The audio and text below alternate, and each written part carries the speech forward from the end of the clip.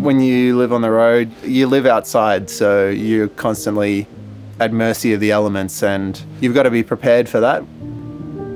By the time we'd gotten to New South Wales, the floods had begun.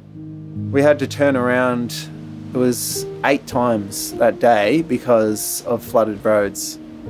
And these were just things that we had to find out whilst we were driving. There was no pre warning, but it did make it really challenging finding places to camp, sleep at night, having access to all the fun things that we really enjoyed um, doing while we were travelling. You really do expect your mobile phone to work in an emergency situation. You can't just rely on that. If you're following mobile mapping apps, often they'll take you places they don't know that are flooded over. So in terms of communication, we had uh, the radio in the car. We've got a UHF radio as well for short range communications where we could set it to scan through all 80 channels to see if there are any emergency broadcasting that we needed to pick up on and be aware of.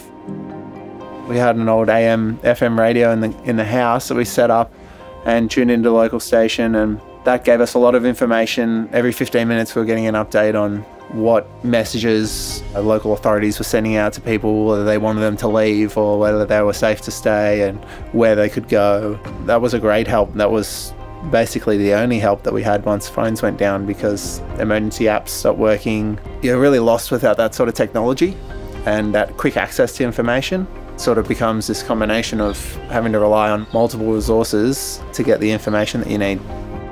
For more information, visit www.infrastructure.gov.au forward slash stand.